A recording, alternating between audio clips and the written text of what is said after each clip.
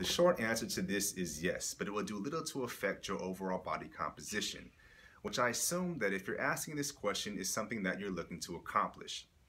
In other words, yes, you will burn more fat during that single training hour, but it may negatively affect your ability to burn fat post exercise. So, what this means is that if you're looking to achieve a lean physique, you have to start thinking about fat loss in terms of an aggregate scale and not from an hour to hour basis. We all know that muscle is more metabolically active than fat, so your priority should be to gain or at the very least keep the muscle you have worked hard to earn. Furthermore, fat is burned at low levels of intensity during exercise, and this burn ratio is affected by how fit you are, meaning that the more fit you are, the harder it is for you to utilize fat for fuel.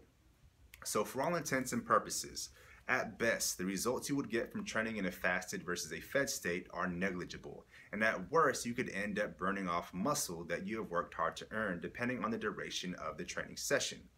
which in all cases would move you in the wrong direction. So I guess my recommendation would be to eat something, unless of course it negatively affected the way you felt during your training session.